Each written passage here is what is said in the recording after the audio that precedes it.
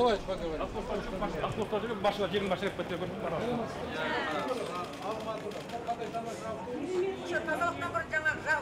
жасап. Мысалы, газ жоқ, ауыл бір жерде бар, бір жерде бар. Жоқ.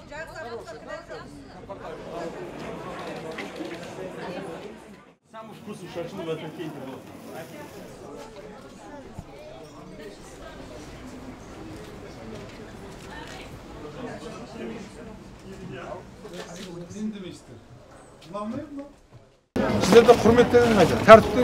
В каждой стране, в каждой области аэропорт, железнодорожный вокзал и автовокзал считаются главными вратами той местности. Поэтому чистоту и благоустройство необходимо начать именно с этих мест. В связи с этим поручаю за короткое время привести в порядок автовокзал, отремонтировать дорогу и состояние рынка в соответствии с санитарными требованиями.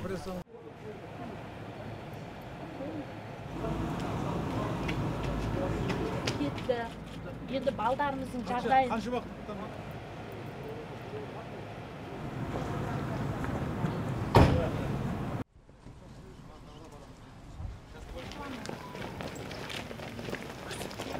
Башқа сап берсін деп айтып жатыр екен.